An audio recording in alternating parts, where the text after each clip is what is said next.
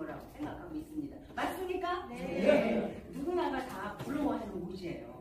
근데 얼마나 행복하고 감사하는 일이에요. 근데 감사한 일도 내가 느끼지 않으면 감사할 수 있을까요? 없어요. 그 사람은 오감을 가지고 살면 더 행복하다고 해요. 오감이 뭘까요? 오감. 먼저 말씀드렸어요. 오감. 따라하세요. 감사. 감사. 감동. 감동. 감격. 감격. 감탄. 감탄. 감지덕지하다. 감지덕지하잖아요.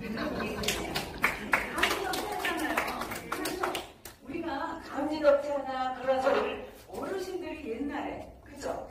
지금 어르신들이 많이 쓰셨겠지만 정말 어르신들이 우리 젊은 세대한테 감지덕지 하지 않냐 그 소리 말씀 많이 하신 것 같아요. 그래서 감지덕지 합니다. 제가 이렇게 이렇게 정말 좋고 훌륭하신 여러분들 앞에서 강의를 할 수 있다는 건 정말 감지덕지합니다. 네, 어르신들이 이렇게 박수를 보내주시고 함께 해주시기 때문에 이렇게 나와서 저희도 웃음을 함께 할 수 있습니다. 저희가 아무리 넓고 좋은 장소라도 어르신들이 함께 해주시지, 않, 해, 해주시지 않으면 우리는 무용지물이야. 그렇죠? 배운 거를 어디다 써먹어야 되는데, 배운 걸어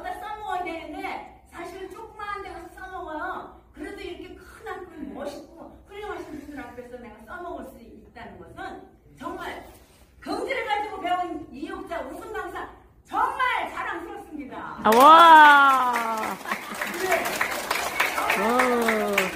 어르신들은 너무 편안하고 즐거운 곳에서 사시기 때문에 하나도 안 변하셨어요. 천천히 시작. 음. 음. 그렇죠. 으.